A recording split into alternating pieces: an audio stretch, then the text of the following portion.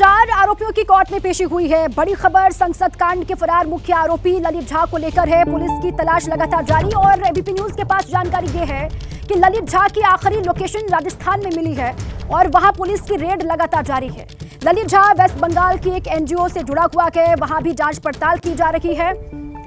और हमारे दो साथी हमारे साथ जुड़ चुके हैं। वरुण जैन के पास चलेंगे, जो इस कांड की जाँच पर पैनी नज़र लगातार बनाए हुए हैं। ललित झा के बारे में और क्या जानकारी मिलती है, इसके बारे में उनसे जानकारी लेंगे। और साथ ही अभिषेक उपाध्याय भी मेरे साथ जुड़े हुए हैं, उनके पास भी चलेंगे। और जवाबदेही किसकी है, जिम्मेदार कौन है, इसके बारे में अभिषेक से हम बात करेंगे। लेकिन सबसे पहले वरुण, आप ही का रुख करते हुए।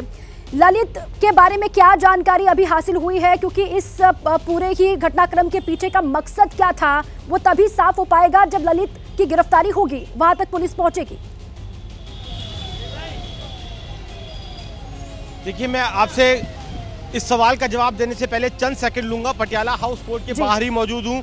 चारों आरोपियों को अब से कुछ ही मिनट पहले दिल्ली पुलिस की स्पेशल सेल ने पटियाला हाउस कोर्ट में पेश किया है। अदालत के सामने उनके उन रिमांड एप्लीकेशन रखी है उन उनकी रिमांड मांगी है। अभी ये जानकारी बाहर नहीं साफ़ हो पाई है कि कितने दिन की रिमांड मांगी है लेकिन पुलिस अब इन चारों की रिमांड लेगी और उसके बाद इस पूरी कॉन्स्पिरेसी को अनर्थ करेगी। जैसा हमने पहले ही बताया कि ललित झा इसके अंदर मेन कॉन्स्पिरेटर है, पुलिस की जाँच में ये बात सामने आई है, क्योंकि ललित ही वो शख्स है जिसने इस तारीख की तेरह दिसंबर को इस तरीके का ये कांड करना है। ये ये तारीख भी उसी ने तय की थी। चारों आरोपियों के लगातार संपर्क में था, उसी ने पूरी इस प्लानिंग को रचा था। यहाँ तक कि जो चारों आरोपी हैं, उनके मोबाइल भी उसने पार्लियामेंट के बाहर अपने पास ही रख लिए थे। पुलिस को इस बात का निशा है कि जैसे जैसे समय बीतेगा मोबाइल के अंदर, जो बेहद महत्वपूर्ण एविडेंस होते हैं, वो उसको भी डिलीट कर सकता है, उनको नुकसान पहुँचा सकता है। इसलिए पुलिस की कई टीमें लगातार ललित झा की तलाश कर रही है, क्योंकि ललित झा अभी तक वो सेंटर पॉइंट है, जो इन चारों को ऑपरेट कर रहा था। लेकिन ललित झा के पीछे किसका माइंड है? उसी से पूरी कॉन्स्पिरेसी अनर्थ होगी।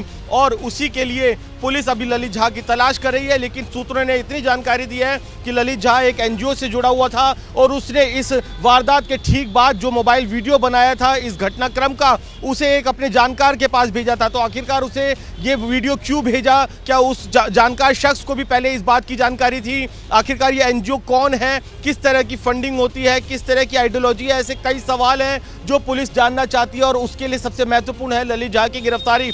उसके लिए तो टीमें काम कर ही रही है। साथ ही पटियाला हाउस कोर्ट में अब सुनवाई शुरू हो गई है। कुछ देर बाद इन चारों आरोपियों की पुलिस को जब रिमांड मिलेगी तब इनसे भी आगे पूछताछ की जाएगी आमने सामने बैठाया जाएगा और उसके बाद ही पूरी कॉन्स्पिरेसी अनर्थ होगी। ठीक है ठीक है वरुण ठीक है। और और जानकारी के लिए आपके पास लौटेंगे। चारों को कोर्ट में पेश किया गया और वहाँ पर सुनवाई हो रही है आप ये बता रहे हैं।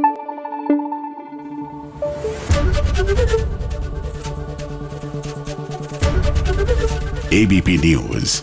आपको रखे आगे।